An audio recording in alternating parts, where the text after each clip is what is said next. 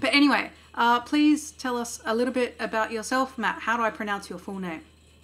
Oh, Matthew Santon Rutherford. So my partner and I had a commitment ceremony 15 years ago, and we decided we'd join our surnames. Ah. This seemed like a good idea at the time, but it takes forever to sign shit and fill out forms. Yes. Um, and it's uh, I guess that's a bit of a trend uh, having hyphenated surnames these days. But I just couldn't imagine you know having to sign everything these days. Um, with with that, but oh well, I guess that's uh, a price to Stuck pay. with it now, really. oh well, with the with the legal system, you can always change your name to whatever you want it to be these days. But yeah, yeah. yeah, if you could pick any name, what name would you go by?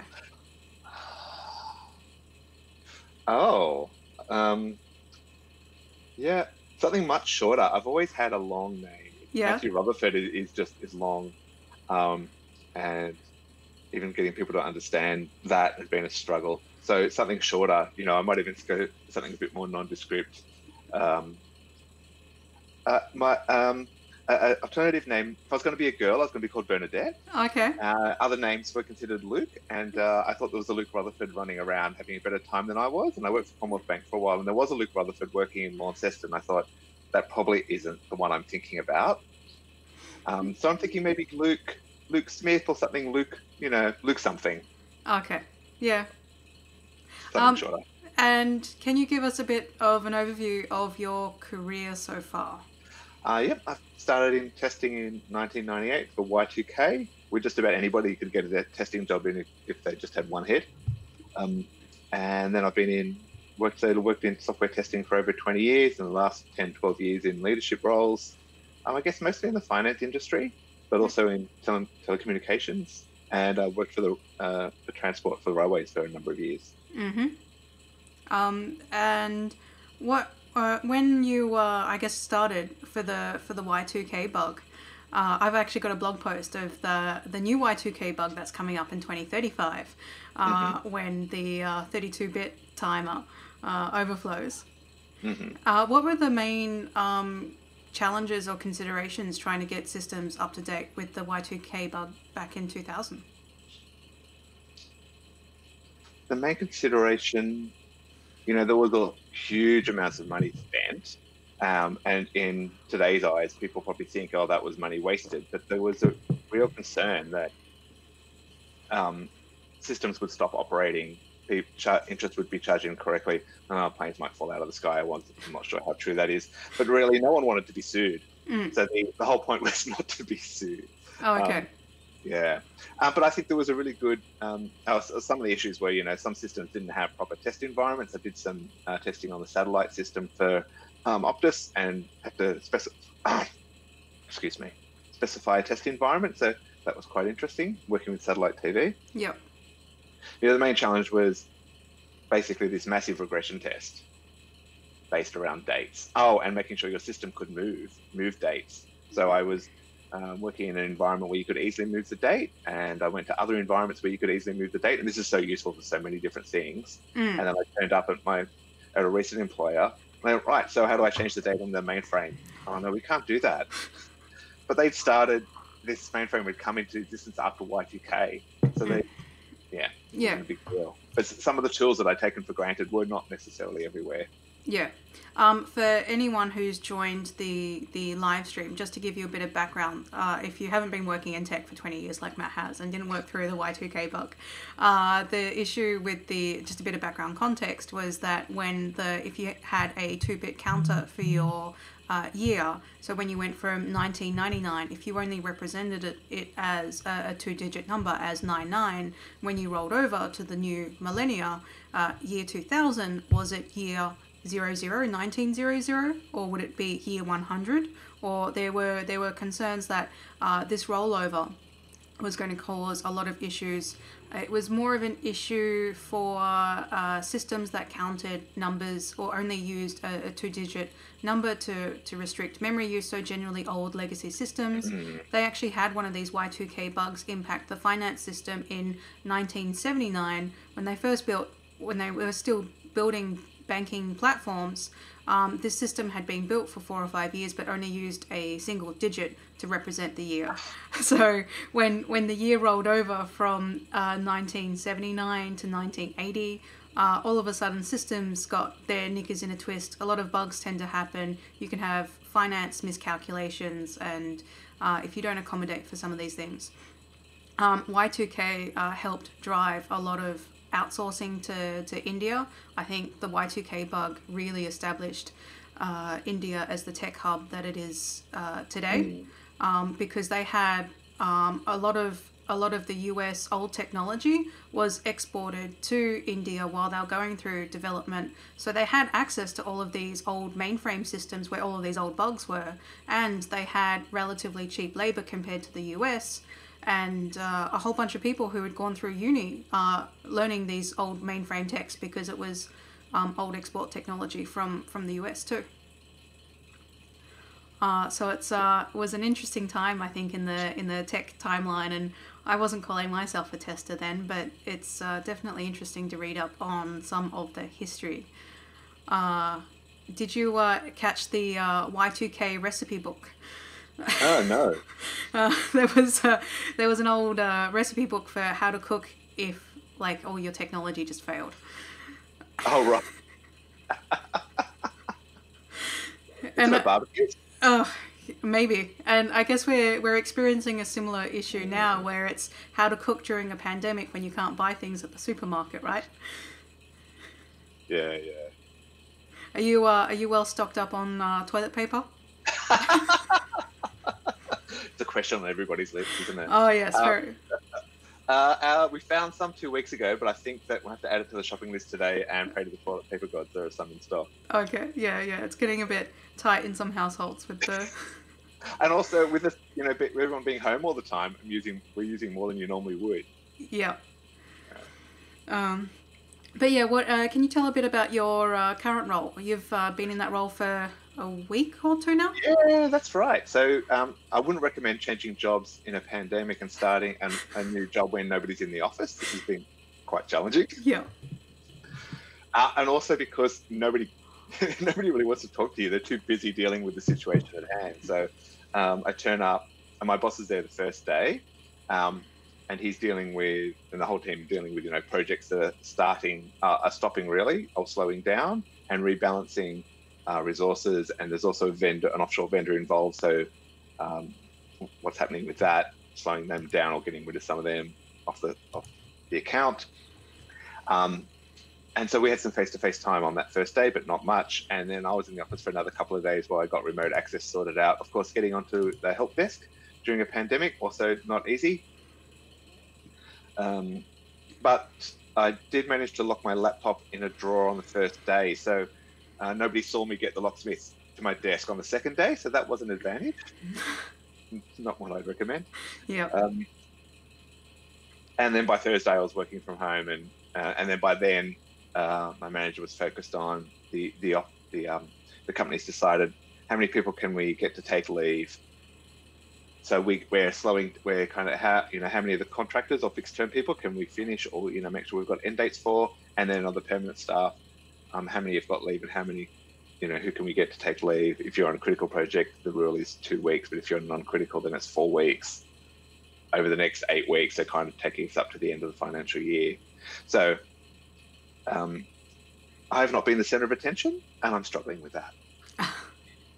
What was the um, uh, main um, motivation or inspiration for changing roles at the time? Was were you looking for a new challenge?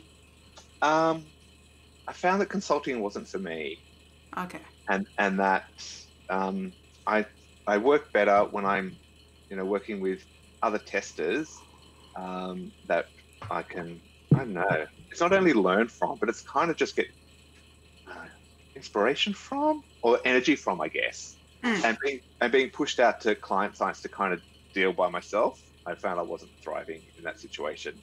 And the project I, I was on, I was finding particularly challenging, and I didn't really have much support. Um, and that was a contributor as well. Yeah. No, it, it, I've heard it can be challenging being shelved client side. Well, actually, I have that experience being shelved client side and just trying to figure and add value, but there's just extra corporate um, structures in place that even that make it just harder just to collaborate with people too. Mm-hmm. You know, some ideas that I had to um, increase collaboration um, uh, were accepted, and some, you know, we couldn't do because of budgetary reasons. With and you know, with no kind of further discussion about that. Um, in the end, it ended up being a values clash. Mm. Um, we're having some microphone feedback, I think, on on your side. Can I turn down the gain there? Uh, do you want to just quickly try leaving and uh, uh, re-entering the, the room again? That seemed to fix the last problem. Sure, I'll give it a go. Cool, thank you. Uh, and if you have uh, any questions while we go through this interview, uh, you're more than welcome to pop them in the Twitch channel, and we will uh, answer any questions at the end while we're while we're just trying to figure out this uh, if we're having any tech problems at the moment.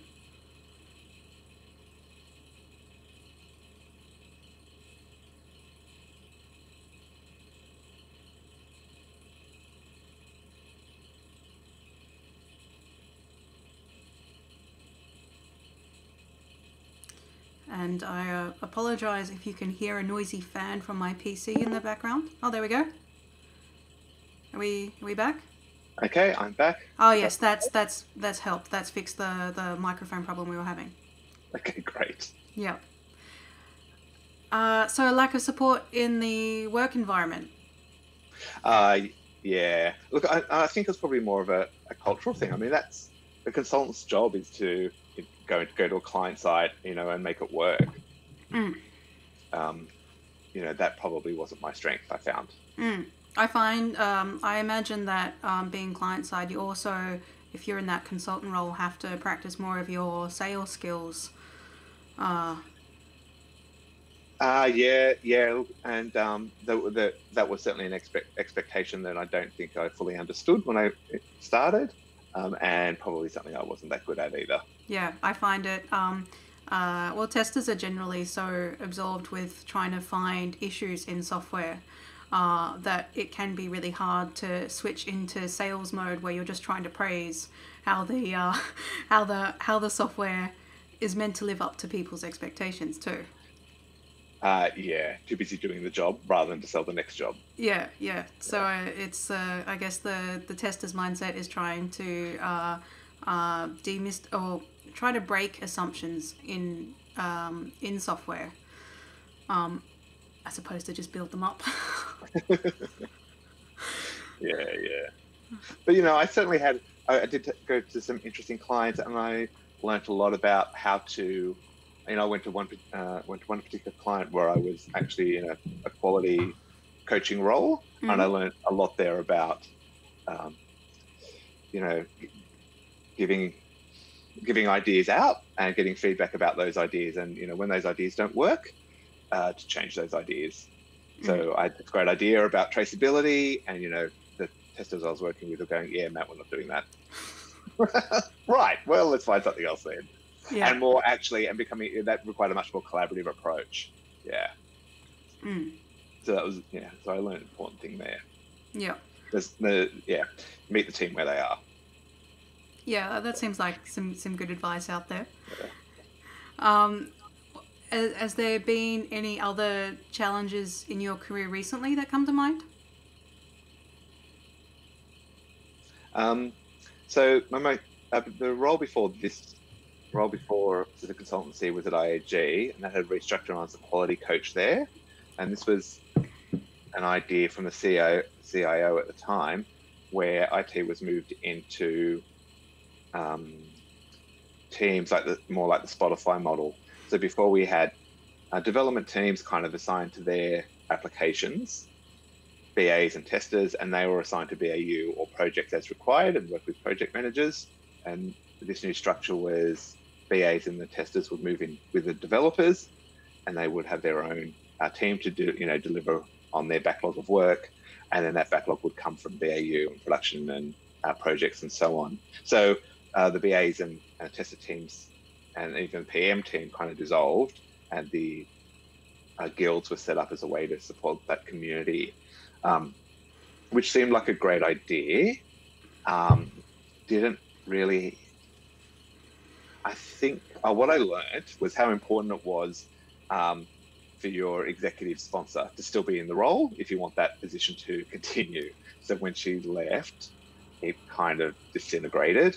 Um, and also meet your own, again, meet with the team where they were. So this idea that people would um, engage their learning, learning mindset, learning mindset and take time out of their workday to, you know, contribute to the community and contribute to their own learning. That's not what they wanted. And we were a long way from that when we started. And that would take years to get to rather than maybe the six or 12 months that we had in mind. Yeah. So some some groups were probably more in that than the others you know and also the testing team had uh, a lot of vendor staff and really they're not that interested and it's not their priorities either. So you know there's kind of like a number of conflicting things that we weren't taking into account when trying to develop that. And just looking back now i can see that we were trying to give them something that they didn't want mm. rather than going well what do you want? Yeah. than that which is where we should have started from. Yeah. Okay. Again meeting the team where they are. Might might be a bit of a theme with today's interview might be a thing yeah, yeah. Um, so, for um, anyone who hasn't heard the term quality coach before, do you mind just quickly describing what that role entails from your point of view and experiences? Uh, yeah, from my experience, it's been uh, going into a testing team or development group and looking at the testing practice and seeing how that can be um, improved to give uh, the outcome that the team need. So, do they need um, traceability, auditability for their organization? Do they need less defects in production? Um, do they need a way to communicate what they're doing to other stakeholders? Um, it depends what questions you need answered from your particular coaching effort. You know, there's a lot of ways, different ways to do testing, and you know, this still needs to be done productively.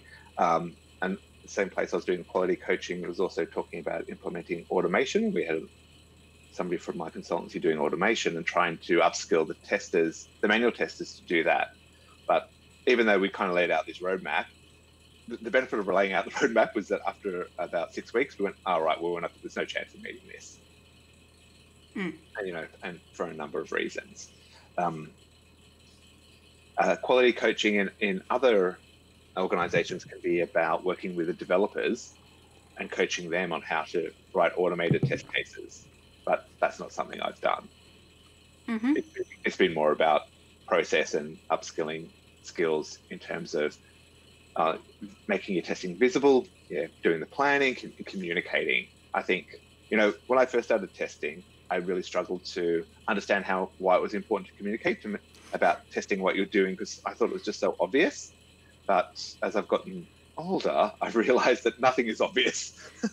yeah, uh, actually, in, in my current role, I almost uh, I had to because I was used, used to more working in startup teams, um, and you don't really have to worry too much about communication overhead. But if you go back into a, a larger corporate structure, you've got a lot more managers and a lot more leads who have opinions on how things should be done. And if you're not transparent in what you're doing, um, they have opinions on your uh, usefulness too.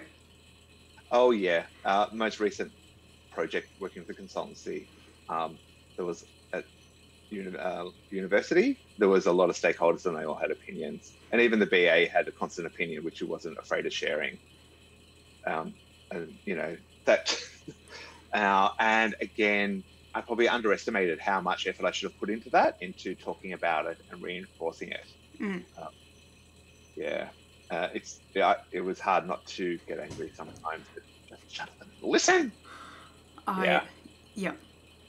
Um, so when uh, dealing with uh, those types of situations, what tends to how do you find out who are the uh, people who just have um, just have loud opinions versus the people who actually have influence and uh, uh, uh, yeah, some sort of power or, or yeah. say in yeah. how it's going to be done. Yeah, look, um, in my experience, it's um, by mistakes. All right. So, you know, I'm thinking, okay, well, I don't need to worry about you because, you know, you're blah, blah, blah. And then I hear their opinion coming through somebody I, I, I am worried about and going, ugh, yeah. So, for example, uh, the BA who was very mouthy about what, uh, how it should work and what we should be doing. Um, I wasn't too concerned about her. And then she started to kind of really influence um, our technical SMEs or our business people. Mm. Like, uh, right. So now I need to go in and explain what what we're doing, why we're doing it, how this is going to work. Um, and that was that was extra effort that I hadn't counted on. Um, working with other uh, vendors, they also seem to have uh, some opinion about the way it should be run. You know, and that was I didn't really understand where that was coming from. Um, but they had definitely experience that I didn't have. So I was trying to balance listening to that experience, but still holding, you know, what I wanted to do. So there's uh, managing noise, I guess, from one angle, but also managing good advice, but understanding where that advice is coming from, and how do you get to, how did I get to, you know, I kind of struggled to get somewhere that was useful with that good advice from the vendor who had experience that I didn't have. Yeah. Hmm. So, yep. Uh, so, in your new role, can you um, uh, briefly describe the, the team you'll be working with? Oh, right. Um, I will do my best, but I don't really understand it myself yet. That, that's fine. Uh, so, a new company, uh, Link Group, does um, super fund administration and shareholder uh, registries. So, I thought this would be uh, pretty insured against economic ups and downs. But if you're a super fund and you're not making any money, then you probably don't have any money to do projects. so that's why we kind of find ourselves in this current situation. Um, from what I see so far, I've got a team of about six or eight people. Um, I think I'm still working. I really haven't started to engage them yet, but uh, my responsibilities will be to work in that team and deliver certain projects. Um, we did have a consultant in working on test process, but that's now been handed over to me, which I'm quite excited about. Um, so they did have a previous test process, which seemed to have like four steps in it, and two of those seem to be business related testing. So my manager is saying, no, we're just going to do uh, system integration test, which will include system tests, and then we're going to have business verification test, and then it's going to be done. So my job is to kind of document that process and also, I think what hasn't been considered is how do we move from where we are to not even where we want to be, but you know, the next step to where we want to be. Mm. So this whole communication thing about right, well, this is what the team's used to doing, this is what the business is used to doing. We're not going to be doing that anymore. We're going to be moving towards this. How do we get the first step towards that? So I think that will be the um, challenge to get everyone to agree. I think get, get everyone to agree about what we want to do is the easy part, but get everyone to agree about what's the next step towards moving that will be the harder part. So giving them, I talked to my manager about, oh, okay, so what tools do people have to um, move to this new way of working? And then he started to talk about um, Quality Center and Jira, thinking, yeah, not what I'm thinking. The tools that we're going to need. uh, yes, but uh, I'm I'm still stuck writing the occasional test case in Jira. Uh, right. So uh, yeah, I've been testing for seven or yeah seven years myself, and uh, uh, there's still an, an, obsession with test cases. Uh, what's your opinion on uh, test case tools? Oh, um, if you are doing if you are doing the test case thing, then I think essential, um, an excellent way to show that uh, for traceability that you are you have got requirements traced down to uh, scenarios and test cases. I'm a huge fan of scenarios, and scenarios is a way to communicate your coverage. Mm. Um, don't talk to me about coverage in test cases. No one can read that shit. It's it's too detailed.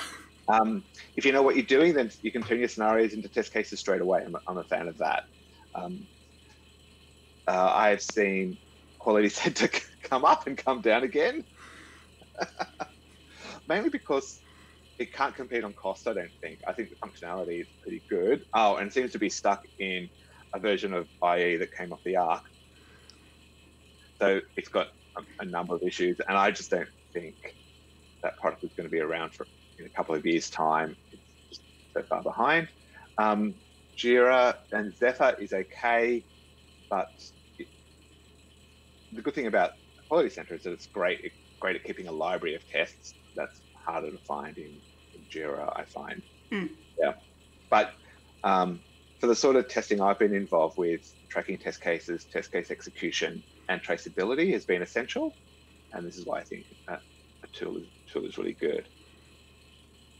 If you're if you're much more flexible about the way you do testing and can do exploratory testing and just keep notes, screenshots where you need to, um, and then have some way of recording uh, traceability against what you've done, then I think that's fantastic. Um, at my previous project, I was going to encourage user acceptance testing to be exploratory based. I think that's a great thing for UAT, uh, which is still something I can do at my new new workplace. Yeah. Yeah. Um, so, do you mind uh, just defining exploratory testing in, in your terms too, please? Oh, okay. Um, so when I first started testing, exploratory testing was something that was uh, random and ad hoc and kind of experimental, and something you kind of did at the end if you still had time and nothing else to do.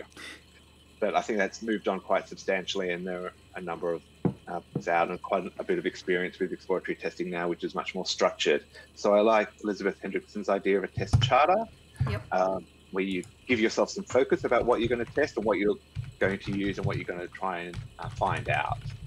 So it's much more focused on uh, time, the area functionality, and what you hope to discover. Um, and that this may also then trigger other exploratory tests. It's to use the tester's brain and skills to explore the software rather than doing step by step. If you're using business users and they're doing step by step, then why bother use why have business users if they're doing step by step? I think the value is for them to go, oh well normally I would do this and what about this over here and answer those sort of human questions. Yeah, so it's a much more human approach to testing, I think. Yeah, there is uh, an assumption, I think, in the market that exploratory testing is just ad hoc testing, but uh, there's a lot of ways to incorporate risk or structure, uh, and uh, the the the equation, well, equating test cases with with testing is still a an idea that hasn't died yet. Uh, no, and I don't think we'll be doing so anytime soon. Yes. Uh, but it is challenging to try and um, at least catch myself or other people from trying to use more nuanced terms as well. Yep. Yep. What other type of uh, debate do you find coming up in the uh, testing space? In uh, that's common across a lot of the teams you've worked in. Um, so uh, test planning, how much test planning is enough? So it looks like in this particular workplace, we're doing a test strategy for every project. I'm thinking, let's stop doing that straight away and just do test plans, scenarios, test cases. Maybe even work go from scenarios to, to test cases in one thing. Um, yeah, um, I guess this whole uh, and also what I've seen really struggle in previous workplaces where they were doing agile is trying to fit that really structured idea of testing into an agile way of working. It doesn't really work. Mm. Um, and I think this is probably where exploratory testing has got a lot of value. But you know, if you're writing, if you're doing some sort of web, webbing or you know whatever application you're doing, and you need certain drop-down values or you need certain actions from certain decisions, you know, all that all that combination needs to be done, and that needs to be documented depending on your environment. So I think it's a you know what, what we're struggling with is how do I do it fast but with quality? Mm. What what the, what's a quality job when we do quality? I guess What's that's a job when you're doing a quality job. that's yeah. that's a meta question. How do you measure the quality of your quality? Oh, so uh, this uh, so um, this current test team at the, the Link Group, we're going right. So defects in production apparently is a is a thing, and uh, one of the huge measures is going to be reducing defect leakage to each stage up to production. Went great, so that's really something easy to measure. Yeah.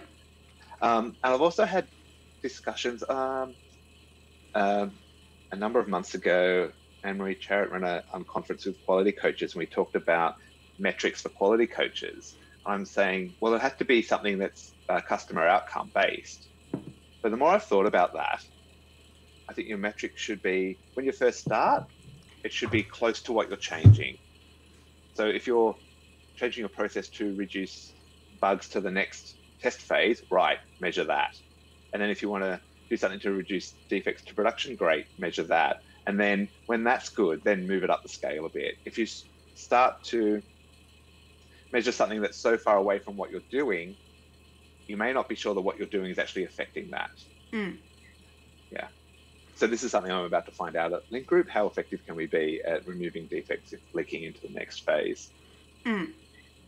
I think there's, uh, I, I, I, guess a lot of people tend to prioritize how uh, the the impact of, of bugs found in production.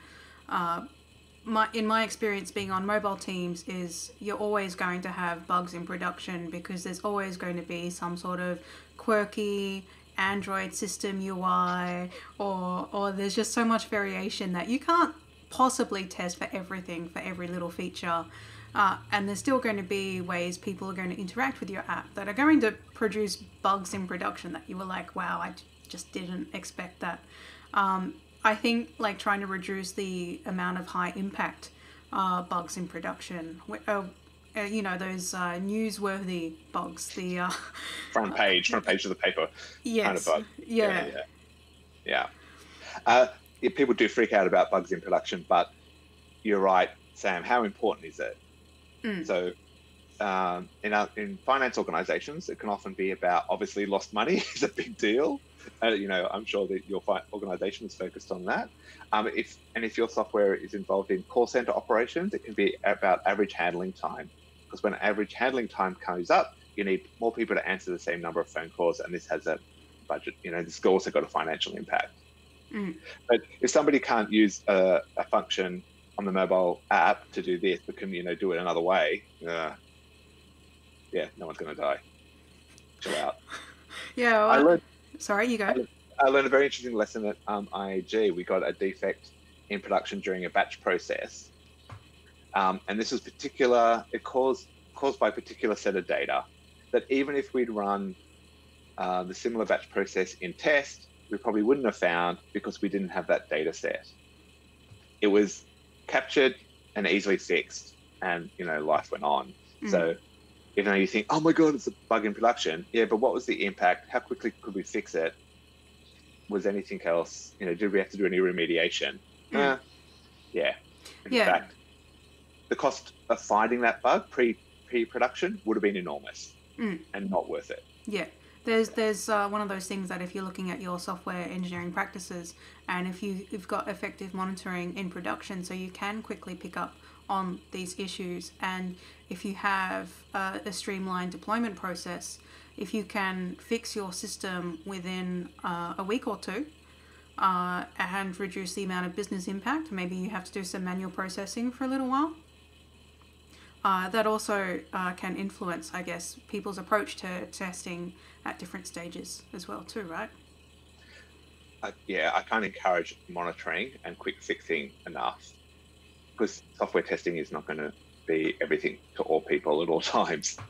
Yeah, so having those, uh, I guess, uh, working on maturing your DevOps processes mm. so you can um, monitor and, and quickly uh, fix production when you do have these issues. I think that's that's vitally important. Mm. Uh, do you, in your new role, do you imagine you'll be getting involved with the hiring process? Probably. Ah, not yet. Uh, maybe when the economy picks up. yes. Um, what I uh, so I was hiring at uh, IAG, and we used a vendor there, and I found that doing scenario-based uh, interviews was quite good. So you know there was various behavior stuff and technical questions, but putting forward um, a requirement and asking testers, asking candidates to find if there are ambiguities. Um, I've got different one of my favorite ones is related to dates yes. and you know something being valid for a month. So different people thought a month was uh, quite clearly defined. Other people thought it was always 30 days. Um, and then once they identify that, then kind of doing you know boundary finding boundary tests for that for that Um, and I find that, and then also asking them why, you know, why is that important? I've had interesting questions, answers about that. Um, also, uh, we had a vendor who was providing offshore services for us, and getting involved in the hiring of those people I found very important. Just don't let them give you whoever they want to, and making sure you talk to them, go through the same interview process, and make get an understanding of uh, what their abilities are. Um, also, there, uh, you know, and that's just having a conversation actually uh, helps you understand their communication skills because if they're working offshore and mo most of the team is going to be onshore, the communication skills are going to be essential. Mm. It's also one of those things that, depending on the location of uh, the offsite uh, teams, um, the, the the language and cultural differences as well can can influence the communication tax that comes into bringing yeah. in those teams too. Yeah, yeah. And when I first started at IAG, we had a project that was using two or three offshore test resources, um, and they were meeting in a room and just using a desk phone to communicate. And it was getting, uh, quite clearly, I was, get, I was, getting feedback from those guys that they really couldn't hear in meetings. So just organising something as simple as a, a, proper teleconference phone, and now they could hear and participate mm. and click and get better understanding. Yeah, even basic stuff. You know, uh, you know that just goes to show the organisation wasn't really set up with the, the tech required to do offshoring. Mm. Well, I, I, think. Yeah, yeah. You go. Oh, but uh, since kind of everyone's moved to this, you know, working from home, but even just the uh, the technology that was put in to communicate, uh, you know, between different offices and with people working from home really help of the offshore stuff as well. Mm. Yeah, I think that's. Uh, I, I've seen some memes on the internet where it's like, who who has been driving the digital revolution in your company? There's like the CEO, the CTO, or coronavirus. Uh, uh, so yeah, there's there's definitely been a large focus on trying to support people from uh, working from home. Uh, what have been uh, your challenges working from home in the last week or two? All right, so I haven't really had any ex- much experience of working from home. I've lived in Redfern for 12, 13 years, and the work has always been, you know, not very far away. Mm. So hmm. there's been no advantage. I haven't had much practice. So I was freaking out a bit that the fridge or the TV might start to talk to me a bit too much. well, at least you don't have one of those smart fridges that are meant to talk to you or something, right? but I've been surprised, you know, um, I closed this, uh, I'm lucky enough to have a two bedroom place where uh, my, my husband works in hospitality, so he doesn't have a job. Um, so he's home, but I just closed the study door. Um, and this has really allowed me to focus, but still being able to you know get out and you know, have lunch with my husband for the first time 20 years. That's nice. So there's been some advantages like that. Um, uh, focus, I thought focus might be a bit of an issue, but so far that's been okay. Um, I have found it difficult um, if people agree to like have a, a meeting, they're not there. I don't, and their mobile number isn't on the directory. You're kind of screwed. Mm yeah, there's no way to contact them. There's, you know, you can't you can't stalk them at their desk. Yeah, so it's been a, sometimes there's been a small accountability issue, I guess. But for me, I've been surprised that actually it's working quite well. Um, but onboarding, uh, clearly, that's just it's just going to be slower. And I'll just have to accept that it's going to be slower. Mm. Yeah, it's also going to be, uh, I imagine, uh, well, if I had to start work with a new team next week, uh, some of the challenges I think I would have is just trying to build up that rapport with the people you're trying to work more closely with. It, it's hard to build rapport with people over uh, digital means. Oh, yeah, I would agree. So, you know, first of all, I, you know, uh, hello, I'm the new boy. Can you talk to me? Uh, I've got other things to do. Yeah, and some of the response. Yeah, and that you can't even do the hey, we've had someone new join. We're going to go out for a team lunch. Yeah, there's none of that. Yeah. Yeah. Or uh, so, yes. or even talk to people randomly in the kitchen. Yes. So those kind of um, incidental social engagements just aren't there, you know. And so sometimes you can actually exchange relevant. You might start off as a social thing, and then you you kind of go, oh, what do you do? Oh, right. Well, I'm doing something about that too, and you kind of find something you're working on together. Yeah. Mm. Yeah, so that that, that. yeah that that incidental uh, um, getting to know people in the company you're working with is a lot harder online too. Yeah, it's a lot harder. Yeah. Mm. How long do you reckon your team will be working from home or focusing on that? Yeah, Sam, I don't know. Nobody knows, do they? So they're saying that the curve is flattening, but and but I'm also hearing that well, it won't be till there's a vaccine that actually we're on the other side. So they're saying a vaccine's 12 to 18 months away. I look, I'm I'm thinking this is going to be at least six months that we're going to be in this situation. Hmm. Yeah, I'm Yeah. I'm perceiving that it's going to be after after our peak flu season because we may be reducing the numbers now, but if we go back to regular habits, this virus is still floating around and it's really hard to prevent the spread of. So I reckon we're going to be cautious and careful at least until peak flu season is is over. Yeah, yeah. yeah. So it's it's work from home. It's it's just basically at home for the next six months. Well, the, the, the current in New South Wales, or at least here in Sydney, uh, the the current uh, social uh, isolation law, which was introduced on Tuesday, just a few days ago. It's weird to think that it was just a few days ago. Is uh, meant to be in effect for 90 days. So until the 29th of June is when current social laws will uplift, hopefully. Right. Unless they extend it. Yes, Yeah. or shorten it, but Uh, Yeah. But considering it feels like they've just rushed these laws through, we're stuck with them for a while, I think. Ah, yep. Yep. Um, So- yeah, Or, so, or your team is the whole of Commonwealth Bank working from home? uh, we're trying to uh, do all of C. Uh, if you're a non-essential, if you're not working from a branch, if you're Oh, right, mostly in IT, you should be trying to work from home wherever possible. Um, the re- general recommendation is don't come into the office if you don't need to. Um, I need to do like I'm going into the office maybe one or two days a week um, to do more integrated test environment testing because that's very challenging to do with the current uh, CBA remote uh, tools. Um, so I'm doing a little bit in the office, but I am trying to do as much as I can from from home. And um, the the company's uh, expanded a lot of their remote uh, VPN technology as well. That's been it's been a huge challenge just trying to get through that. Uh, just last week we were told uh, don't use the remote VPN uh, if you're a if unless you've gotten an email from the head honcho person. uh, you can only use the remote stuff uh, outside of the hours 8 a.m. to 6 p.m. So last week I was basically trying to work from 6 p.m. to 8 p.m. just for a little bit. Oh, right. Uh, why aren't you supposed to use the VPN? Uh, yes, but because I wasn't deemed uh, essential, I wasn't allowed to use it during Oh, uh, right, peak okay. because it only had so much uh, capacity, bandwidth, Right.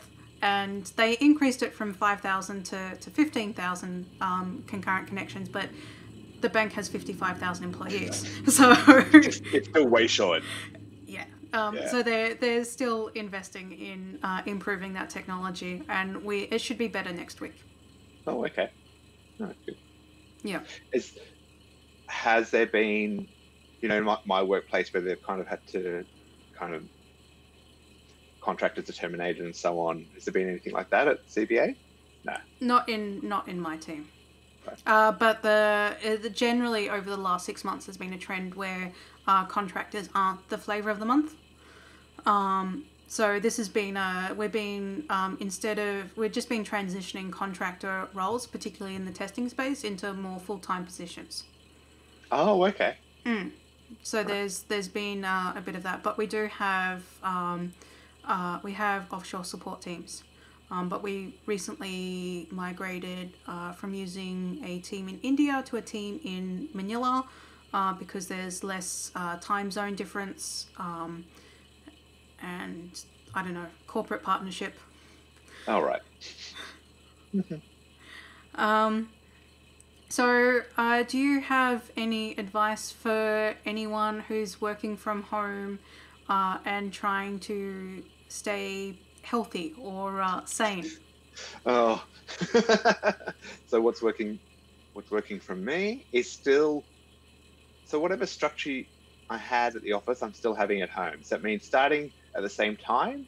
I'm having morning coffee at the same time. I'm having lunch at about the same time and finishing at the same time. Um, and then getting up, getting out of the house and going for a walk or whatever your exercise used to be. I used to swim a lot. Of course, that's finished. So I'm just walking, but I'm just trying to find. I'm going. Oh, what else? What else is out there that's kind of a bit more strenuous than walking? Um, and I'm not a huge kind of fan of running, but maybe that might be in my future. I'm not sure. I've seen a lot of cyclists today in North Sydney. Oh, yeah, yeah, yeah. It's a good idea. Mm, there's Um, probably lots of sales of bikes at the moment. yeah, so so finding a routine or finding something that works. Um, my yoga teacher was suggesting, you know, mate, you could do a bit of yoga every morning. I went, oh. so I've been doing a bit of that. That's really helped. Um, I've forgotten. Oh God, I'm so. I think sitting. Of course, there's a lot more sitting down. There's not even walking to and from the train train anymore, or even you know walking to the office. So, um, getting up and getting active, I think, is very important, especially you know for me. Yep. So finding some act- activity that you can you can do. Cool. I Yeah. think that's a, that's a good note to uh, potentially end the interview with.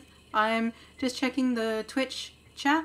It doesn't seem like we've got any questions in the in the live stream. I think it's um, well, this is the first time I've really tried to to live stream from eleven o'clock. So I think I don't have the. Uh, if most of my audience is in Australia, eleven a.m. might not be the best uh, the best streaming time. Maybe not. Yeah, but uh, thanks for the conversation today. I will um, uh, upload this onto to YouTube at some point. Um, is there any other remarks you'd like to leave any of our watchers with? No, thanks so much, Sam. Cool. Thank you. All right. Bye bye. See ya.